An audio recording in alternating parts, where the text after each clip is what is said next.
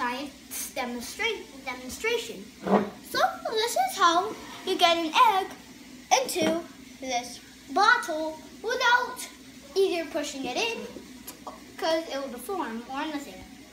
We're just gonna put it in by chance. Of course, you're gonna need a glass bottle, and it has to be glass. A hard-boiled egg that won't fit inside. You're also gonna need a pen just in case.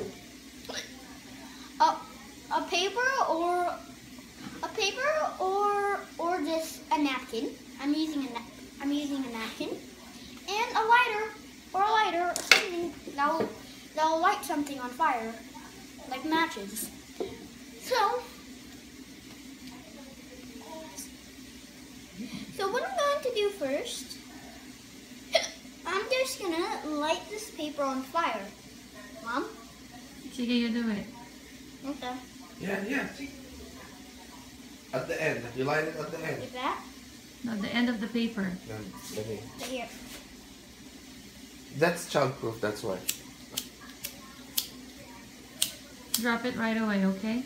It's not working. Get a match. Yeah. No, let me get something. Stay there. Sorry. Sorry. Let me, What? Sorry. If you if you post this on YouTube, we will edit it.